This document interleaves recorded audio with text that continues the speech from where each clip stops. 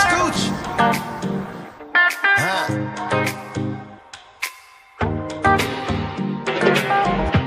I feel I'm gonna lose my mind. Whoa, I am talking to you. Whoa, can you tell me the truth? Hey. Ma eh, diciamo che il concetto base dell'album è quello di una specie di eh, ribellione eh, da parte del nostro corpo al mondo del web, al, eh, a tutto questo mondo che in un certo senso ti condiziona anche inconsciamente in tante scelte, dal, dal vestire al eh, mangiare, al parlare, al dire delle cose, allo slang nuovo che è dettato dal, dal web. E va, secondo me, secondo noi, mondo che va usato eh, e non bisogna essere usati da quel mondo. È un po' questa denuncia qua. You è questa denuncia qua. Il titolo eh, è preso dal, dal singolo Chiaro, You, sì.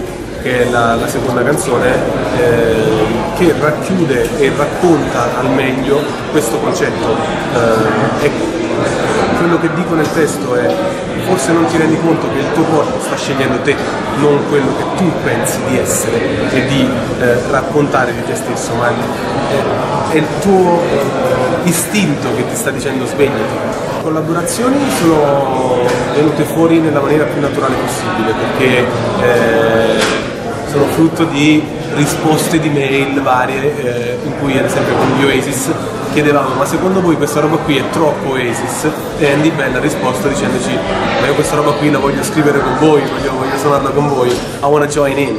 E quindi tipo con gli Oasis è nata così. Eh, con Gucci Mane stessa cosa insieme ai Daddy's Groove avevo detto ragazzi siete conosciuti all'estero siete un omone all'estero mandate delle mail ai vostri amici che qui secondo me servirebbe una collaborazione internazionale. Ha risposto Gucci Mane insieme anche ad altri rapper.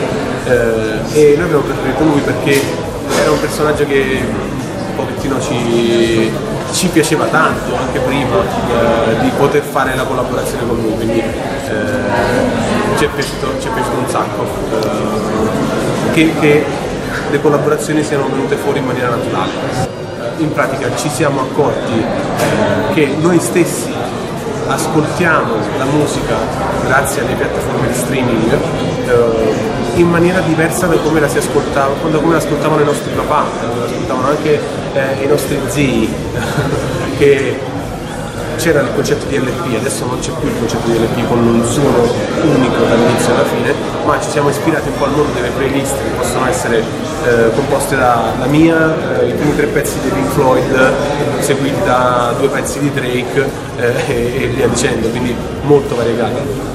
E accorgendoci di questa cosa qui, ascoltando album come quelli dei 21 Pilots che proprio ragionano in quella logica, ho detto ma sì, mettiamo dentro eh, più sapori, eh, proprio- però anche lì non c'è stata una ricerca